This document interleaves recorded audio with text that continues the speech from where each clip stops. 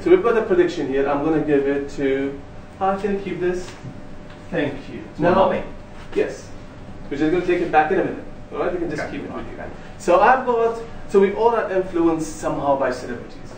We see what they dress. We dress like them.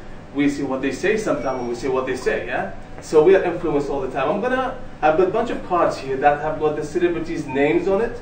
So I'm gonna say the first name. I want to hear the last name of their name. Yeah.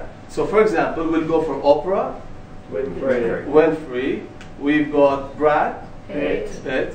We've got Paris Hilton. Hilton. Hilton. We've got Denzel Washington. Washington.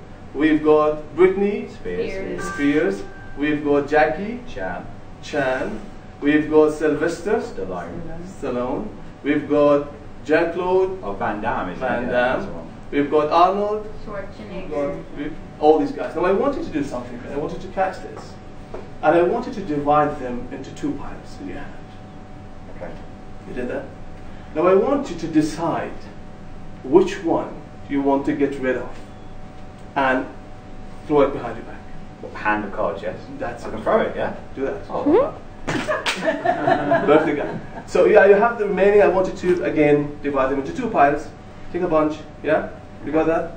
So now I want you to decide which one you don't want and just get rid of that one. Or this one. So you've got some remaining here. Yes. Yes. I want you to put your finger on one of these cards. Just put your finger on, on top of one of these that you want to. Oh, um, I'm gonna go for this one here. This one. This one here. So this is the card. that is the card. I want you to open your palm. So you picked one.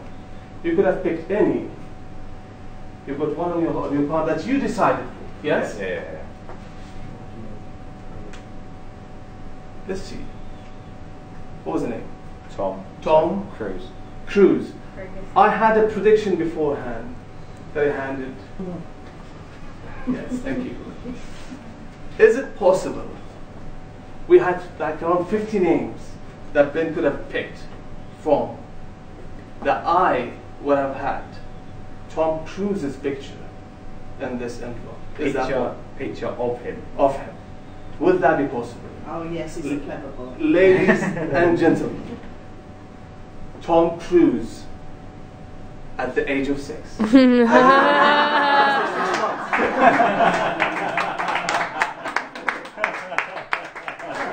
I, I really, really apologize. I really apologize. Wasn't wasn't able to get Tom Cruise's pic un, unnaked. Sorry for that. But then it's almost possible.